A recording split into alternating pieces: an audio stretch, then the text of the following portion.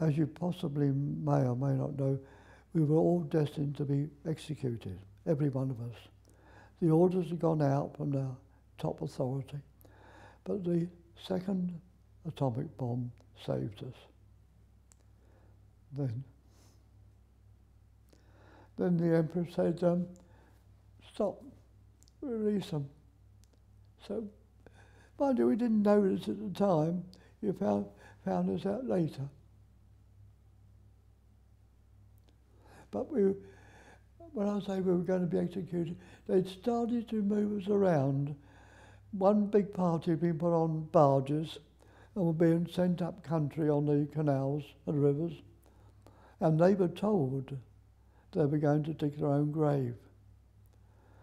But when they got to the place where they were destined to start digging, the orders had come from the emperor, stop.